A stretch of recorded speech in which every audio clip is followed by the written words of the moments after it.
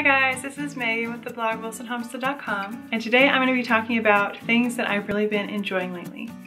I've done a few favorites videos in the past that I will link down below, but I just want to talk about some of the things that I've really been loving this spring in 2021. Now of course, my favorite things ever are God and my husband and my kids, but as I go through different seasons of life, there are just some things just in our house, around our daily lives that I just really particularly enjoy or that make me very happy while I'm around them or if their activities make me very happy while I'm doing them. So it just depends on the phase of life, but in each, in each season of life, I try to focus on some things that I'm really grateful for. And so these are some of the things that I've been really thankful for having in my life. This spring has actually been especially full of stress and craziness for our family because if you guys didn't know, we are in the process of selling our home of three years where our children were born, our first home that we bought together, and we are buying a new homestead.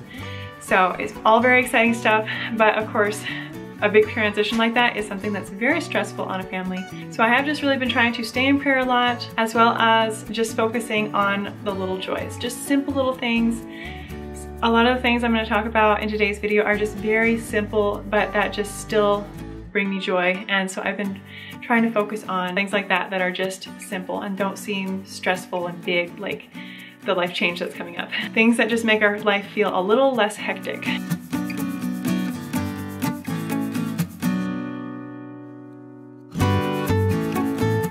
So number one is more outdoor time. I think this is probably a favorite every spring that comes around because as the weather warms up, it just becomes more and more enjoyable to be outside. We start going to more places around our Bitterroot Valley that are especially wooded. We really love taking our kids up to like Lake Como, to the campsites and having a fire and just letting the kids run around and play.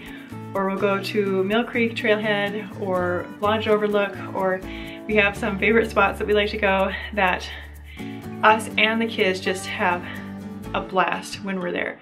And there's something about being out in nature, especially out in the woods for me, that it just feels very healing to the soul. If you're kind of in a stressed out period in your life, it kind of helps reground you, and especially if it's somewhere that's out of cell service. Even if it's not, I'll leave my phone in the car, and it just really helps us reconnect as a family and just feel a little bit more disconnected from the craziness. The second thing I've really been enjoying lately is my gray apron. Now that may sound very, very simple, but I actually recently had this apron given to me by my husband's aunt. She actually bought it and it was too long for her and I'm the very tall lady in the family so she gave it to me, it fits me perfectly and I really love the style and it's fun to have a new apron. when I get dressed in the morning and I put up my hair and I put my apron on, I feel like I have my uniform on or something. It makes me feel ready to conquer the day and like I'll be very productive. In the category of books, the main book I have been loving lately is called Heartfelt Discipline by Clay Clarkson. I'm a bit of a bookworm and I always have like about five books I'm going through at a time.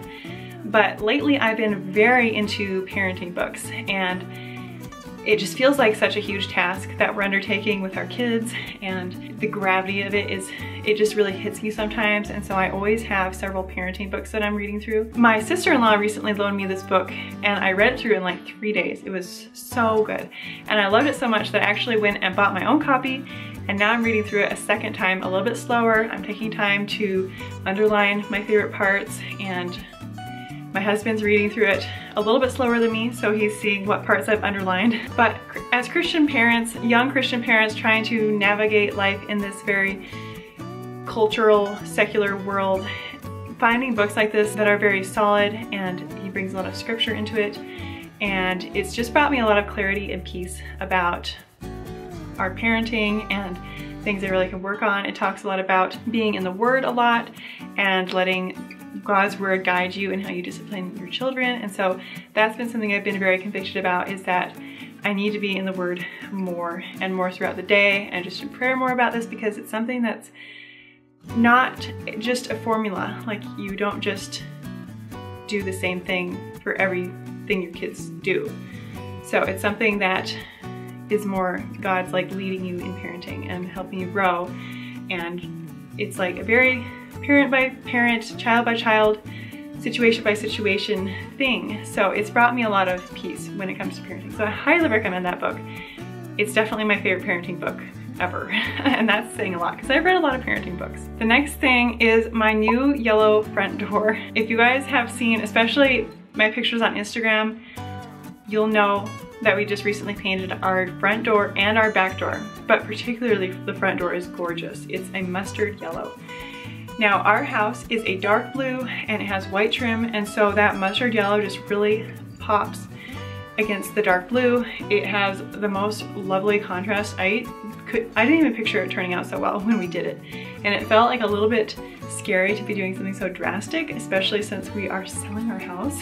But I really love it and it makes me happy every time I come in and out of the door and I see that really happy color. It's just been really nice. And I'm definitely gonna be painting something yellow on our new house whenever we find a house because I love having something yellow on our house. The next thing is the doTERRA Motivate Essential Oil Blend. This is like a pre-mixed blend that you can buy from doTERRA. It's called Motivate.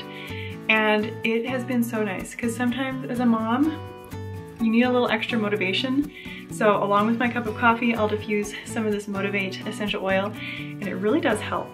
Like it helps me feel more motivated and more energetic it's it's got the most lovely scent. Even if it didn't like do anything for my motivation, I would diffuse it just because it smells so good. So that's been something I've been diffusing non-stop over the last like month. I go through phases, I'll go through like a citrus phase and a on guard phase. And right now I'm in a, a motivate phase. The next thing is beeswax candles. Now I know this is not necessarily a spring item. This is more of something you'd think of as like a winter favorites item, but I recently found a new source for beeswax candles and I'm so excited about them that I've been burning them all the time and they're so pretty and even if I'm not burning them, they just look pretty in their candlesticks. They're the taller type of candles. They're not just the kind that are poured in like a container. They're like the tall tapered candles. Because recently I had found a lot of great brass candlesticks, but I didn't have any candles to put them in. And that is something that's more difficult to do on your own. It takes, like to make taper candles, it takes a lot of dipping. You have to have a lot of beeswax, a big tall container, and it takes a lot of time. It's kind of tedious. And with little kids running around, I just didn't feel like dealing with it right now.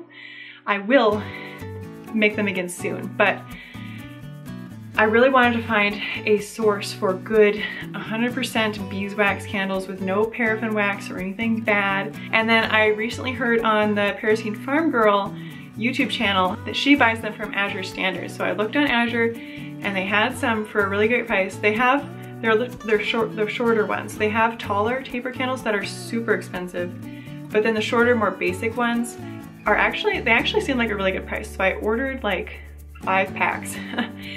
and I'm, I was so excited to get them and I put them in all my candlesticks and they look so much prettier now. And one of my favorite things to do with them lately is actually to get like two or three of them and after I clean the kitchen, I'll set them like next to the sink or on the table and I'll light them and it just like gives the finishing touch to a nice, clean, cozy, nourishing kitchen. On to the music category. I've had one artist that's been my absolute favorite lately. I do go through phases with music as well, and I always come back to this guy.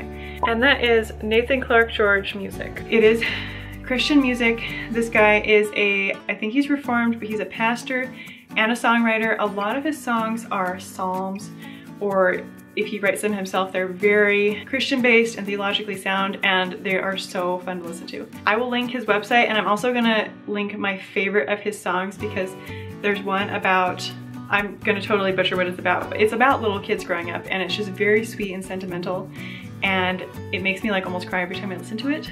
so you guys gotta go listen to that. As for podcasts, I have two podcasts that I've been loving lately. I'm a bit of a podcast junkie I seriously have at least 30 podcasts that range anywhere from home birth to healthy eating to Christian motherhood to philosophy, like just a huge range of topics. But one of my favorite ones lately is one called Wise Traditions. If you guys have been around my channel much, you'll know that we love healthy traditional foods diet. And so I'm very into the Weston A. Price Foundation diet And this is actually a production of the Weston A. Price Foundation. It's called Wise Traditions. They have so much good information about like everything health. And so, especially being pregnant, I actually went through and searched for all the pregnancy ones first. I listed all those. But they have some really good ones, even about like EMFs and just like so many different topics that you wouldn't even think were on there. And then the next podcast I've been loving is called At Home with Sally. Now, this is funny because after reading Heartfelt Discipline by Clay Clarkson, I realized that I have a bunch of books by his wife that I didn't even connect the dots that they were by the same person. And then this podcast is also by his wife. It's like a lot of, there's been a lot of like coincidentally realizing I'm listening to their family anyway. It's been weird. But the Clarksons just seem to be, they seem to have a lot of joy in Christ and it just like seems to overflow to everyone else. And so it's like very refreshing to hear her podcast and she has a lot of good episodes on encouragement in motherhood and I've been really encouraged and uplifted by that particular podcast lately. So those are all the things that I added to this list as things I'm thankful for and enjoying this spring of 2021. If you guys enjoyed this video, let me know and I would love to make some more for you guys, maybe do more of a quarterly thing if you guys like seeing this. But thank you for watching this video and I'll see you next time. Bye!